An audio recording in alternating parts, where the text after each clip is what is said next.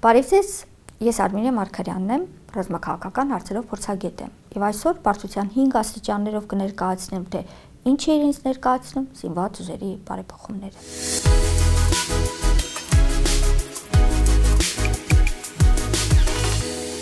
Սիրելի երեխաներ, նախ փորձենք հասկանալ, թե ո՞րն է զինված ուժերի առաքելությունը, որից հետո առավել դյուրին կլինի ընկալելը, թե ինչ ասել է զինված ուժերի բարեփոխումներ, ինչու պետք է զինված ուժերը բարեփոխվեն եւ ինչպես պետք է բարեփոխվեն։ Հայաստանի Հանրապետությունն ունի իր սահմանները, որոնք Հայաստանին ֆիզիկապես բաժանում են այլ պետություններից։ Այդ սահմաններից ներս Հայաստանի Հանրապետությունն է, իսկ այդ սահմաններից դուրս այլ պետությունները։ Մեր զինված ուժերի առաքելությունը Հայաստանի Հանրապետության պաշտպանությունը եւ անվտանգությունը ապահովելն է, որպեսզի որևէ պետության զինված ուժեր չկարողանան եւ առհասարակ նույնիսկ չցանկանան խախտել մեր սահմանները այսինքն մեր սահմաններից ներս գալ եւ տարածքներ գրավել։ Որքան ավելի պաշտպանված է Հայաստանի Հանրապետությունը, այնքան ավելի անվտանգ եք ես եւ դուք, քանի որ կարողանում ենք խաղաղ պայմաններում աշխատել, սովորել, արարել եւ զարգանալ։ Հետևաբար զինված ուժերի բարեփոխումների գործընթացը միտված է մեր պաշտպանական կարողությունների ամրապնդմանը, որի վերջնարդյունքը անվտանգ զարգացող խաղաղ Հայաստանի Հանրապետությունն է։ Եվ այսպես, ինչու պետք է զինված ուժերը բարեփոխվեն որպիսի Հայաստանի Հանրապետությունը, հետևաբար ես եւ դուք ավելի պաշտպանված եւ անվտանգ լինենք։ Հիմա փորձենք պատասխանել երկրորդ հարցին. ինչպես բարեփոխել զիվաց ուժերը։ Տարբեր զիվաց ուժեր տարբեր մոդելներ են ընտրում բարեփոխվելու։ Այն մոդելը, որն ընտրում է Հայաստանը, կարող է արդյունավետ լինել Հայաստանի համար, բայց արդյունավետ չլինել մեկ այլ պետության համար։ Սա պայմանավորված է նրանով, որ այդ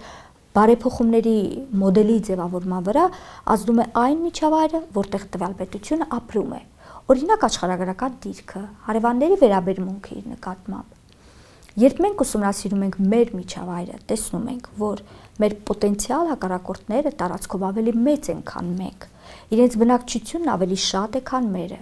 Մեր նյութական բարիքները նույնպես զիջում են նրանց նյութական բարիքներին։ Հետևաբար, Հայաստանի Հանրապետության զիվաց ուժերի բարեփոխումների արդյունավետ մոդելը պետք է հենվի մեր սակավ ռեսուրսների խելամիտ գրագետ օգտագործման, զիվաց ուժերում կարգ ու կանոնի հաստատման, ժամանակակից կրթության եւ արդյունավետ սպառազինությունների ձեռքբերման վրա։ Այս պարագայում մեր պոտենցիալ հակառակորդները չեն ցանկանա մեզ հետ պատերազմել, այլ կցանկանան մեզ հետ համագործակցել։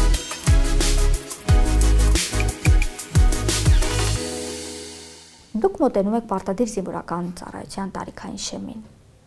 Հետևաբար ոչ այնքան հեռավոր ապագայում դուք պատիվ եք ունենալու ծառայել Հայաստանի Հանրապետության զինված ուժերում եւ որպես Հայաստանի Հանրապետության քաղաքացիներ ձեր ներդրումն եք ունենալու մեր պետության պաշտպանության,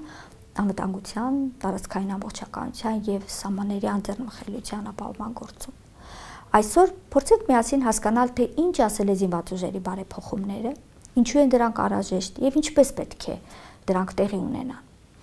Զինված ուժերի բարեփոխումները միտված են Հայաստանի Հանրապետության պաշտպանունակության բարձրացմանը։ Պաշտպանունակության բարձրացումն իր հերթին խթան է հանդիսանալու մեր պետության կայուն զարգացման, Հայաստանի Հանրապետության քաղաքացիների բարեկեցության եւ տարածաշրջանային երկարատև խաղաղության եւ կայունության հաստատման համար։ Յուրաքանչյուր պետություն իր զինված ուժերի բարեփոխումների մոդելն ընտրելիս հենվում է մի շարք գործոնների վրա։ Օրինակ, Ինչպիսին է տվյալ պետության ռազմավարական միջավայրը։ Արդյոք այն բրույթով նպաստավոր է երկարատև խաղաղության համար, թե այնուամենայնիվ արտակի սպառնալիքները ռազմականացման միտումներ ունեն։ Երբ այս հարցերի պատասխանները փնտրելիս գալիս ենք այն եզրահանգման, որ մեր ռազմավարական միջավայրը բարենպաստ չէ, ապա ինչ ենք անում մենք։ Մենք գնահատում ենք մեր պոտենցիալ հակառակորդի ռազմական կարողություններն ու ռազմավարությունները, եւ մեր պաշտպանական համակարգը պատրաստում են կանխարգելելու այդ պոտենցիալ հակառակորդների հարձակումը մեր վրա։ Եթե այնուամենայնիվ այդ հարձակումը տեղի ունենում, ապա բարեփոխված զինված ուժերը ի վիճակի են լինում ապահովել Հայաստանի Հանրապետության հաղթանակը ռազմի դաշտում։ Այսինքն, դրամաբանությունը հետևյալն է. Զինված ուժերի բարեփոխումների ժամանակ մենք ամրապնդում ենք մեր պաշտպանունակությունը, որpիսի նախ կանխարգելենք հակառակորդի հնարավոր հարձակումը մեր վրա, իսկ եթե հակառակորդն այնուամենայնիվ գնա ռազմական էսկալացիայի, ապա մենք կարողանանք հաղթանակ ապահովել Հայաստանի Հանրապետության համար։ Այսպես, եւ կանխարգելելու եւ ռազմական գործողությունների ժամանակ հաղթանակ ապահովելու համար անհրաժեշտ է իրականացնել զինված ուժերի բարեփոխումներ, մասնավորապես ձեռք բերել ժամանակակից սպառազինություն եւ տեխնիկա, զարգ տալ ժամանակակից զինվորական կրթության զարգացմանը եւ ձևավորել փոխշահավետ ռազմավարական գործընկերային հարաբերություններ տարբեր պետությունների հետ։ Երկրորդ. Զինված ուժերի բարեփոխումների շրջանակներում. Անհրաժեշտ է ապրապնդել զինված ուժերի ներսում կանոնադրական հարաբերությունները եւ զինված ուժերի մարդու իրավունքների նկատմամբ հարգանքը։ Կարող է թվալ, թե ինչ ազդեցություն կարող են ունենալ կանոնադրական հարաբերություններն ու մարդու իրավունքների նկատմամբ հարգանքը զինված ուժերի մարդունակության բարձրացման վրա եւ մեր պաշտպանունակության վրա։ Շատ ուղիղ։ Համաձայնեք, որ դուք առավել մեծ նվիրումով կծառայեք այն զինված ուժերում, որտեղ կա հստակ կարգ ու կանոն եւ որտեղ ձեր մարդու իրավունքները չեն ոտնահարվի։ Իսկ դա իր հերթին բարձրացնելու է մեր զինված ուժերի մարտունակությունը, հետեւաբար եւ Հայաստանի Հանրապետության պաշտպանունակությունը։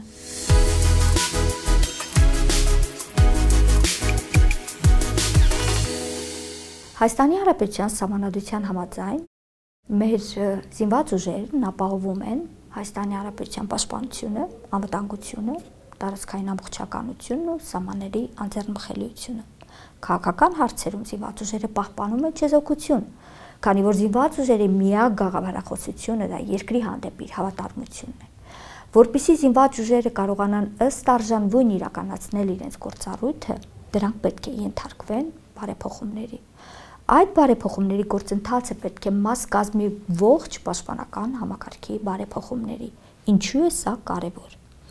Պաշտպանական համակարգի բարեփոխումների ժամանակ մենք վերանայում ենք այդ համակարգի հայցակարգային հենքը եւ զինված ուժերի բարեփոխումների գործընթացը դնում ենք այդ հայցակարգային հենքի վրա։ Հայցակարգային հենքը ձևավորում է հաշվի առնելով Հայաստանի Հանրապետության ռազմավարական միջավայրը, հենվում է մեր արտաքին սպառնալիքների, մարտահրավերների եւ ռիսկերի գնահատման վրա, արդիր ռազմարվեստի զարգացման վրա, մեր պոտենցիալ հակառակորդի ռազմական եւ ռազմաքաղաքական կարողությունների գնահատման վրա։ Համաձայնեք, որ այն ամեն ինչ ես նշեցի ստատիկ չէ, հետեւաբար արդյունավետ պաշտպանական համակարգը նույնպես չի կարող լինել ստատիկ։ Հայաստանի Հանրապետությունը փոքր պետություն է առասարակ դիմակայուն եւ առավել կայացած փոքր պետությունները, օրինակ Իսրայելը, Հորդանանը, Արաբական Միացյալ Էմիրությունները մշտական վերագնահատման են ենթարկում տարածաշրջանային եւ գլոբալ սպառնալիքները, ինչը նրանց հնարավորություն է ընձեռում ճկուն կերպով անընդհատ ադապտացիայի ենթարկել իրենց պաշտպանական համակարգերն ու ռազմավարությունները եւ այդ ադապտացված հենքի վրա զարգացնել զինված ուժերի կառուցվածքը, կառավարման եւ վերահսկման համակարգը, գիտելիքային եւ նյութատեխնիկական ունակություններն ու կարողությունները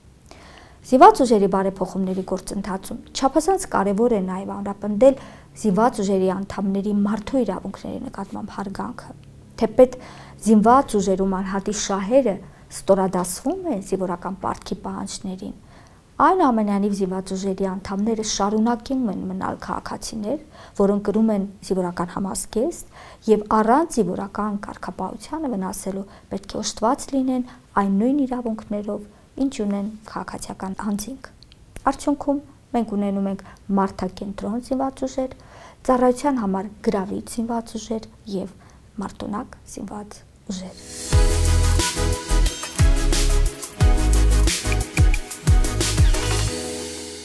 Բարեփոխված զինված ուժերն ի վիճակի կլինեն լավագույնս իրականացնել իրենց համանդրական առաքելությունը։ Այն է. ապավել Հայաստանի Հանրապետության պաշտպանությունը, անվտանգությունը, տարածքային ամբողջականությունն ու անձեռնխելիությունը։ Որքան ավելի գործուն է մեր պաշտպանական համակարգը, մարտունակ են զինված ուժերը, այնքան ավելի պաշտպանված է պետությունը արտաքին սպառնալիքներից։ Որքան ավելի պաշտպանված եւ ուժեղ է պետությունը, այնքան ավելի քիչ է հավանականությունը, որ մեր պոտենցիալ հակառակորդներն իրենց ռազմավարական նպատակների իրագործման համար կդիմեն ռազմական գործողությունների։ Այլ բառերով, հակառակորդի համար ուժ կիրառելը այս պարագայում դառնում է ոչ գրավիչ, քանի որ նա քաչ գիտակցում է, որ ռազմական գործողությունների դիմելիս իր օգուտը եւ մարդկային, տեխնիկական, քաղաքական, իմիջային ծախսերը լինելու են անհամաչափ։ Եթե կարողանանք հասկանալ, թե ինչ ազդել է ուժ հասկացությունը Հայաստանի նման փոքր պետության համար, կկարողանանք նաև ձևակերպել, թե ինչպիսի բարեփոխումների պետք է ենթարկվի մեր պաշտպանական համակարգը, հետևաբար եւ զինված ուժերը։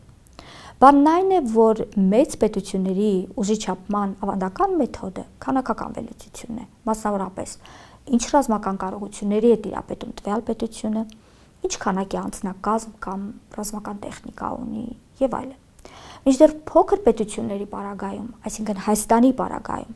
այս մեթոդաբանությունը չի կարող աշխատել, հաշվի առնելով նյութական եւ մարդկային ռեսուրսների սակավությունը, տարածքի առումով ռազմավարական խորքի գրեթե բացակայությունը։ Հետևաբար, Հայաստանի պարագայում ուժի չափման ցուցիչն այն է, թե ինչքանով է Հայաստանը կարողանում իր նյութական կամ մարդկային ռեսուրսները հմտորեն կիրառել սեփական պաշտպանական կարիքները հոգալու համար։ Ինչքանով է կարողանում այս գործընթացը կապիտալիզացնել որպես գիտելիք եւ փորձ եւ այն օգտագործել որպես արտաքին քաղաքական հավելյալ գործիք։ Այս մոտեցումը պետք է համադրել ռազմական նորարարական տեխնոլոգիաների հետ, քանի որ վերջին երկու տասնամյակների ընթացքում ռազմական գիտությունը եւ ժամանակակից պատերազմներ վարելու բնույթը ենթարկվել է հիմնահատակ փոփոխությունների։ Տեխնոլոգիաները կտրուկ զարգացել են եւ ռազմականացվել են։ Չորրորդ ինդուստրիալ հեղափոխությունն առաջարկում է բարձր տեխնոլոգիական լուծումներ եւ արհեստական բանականության ռազմականացման միտումներ։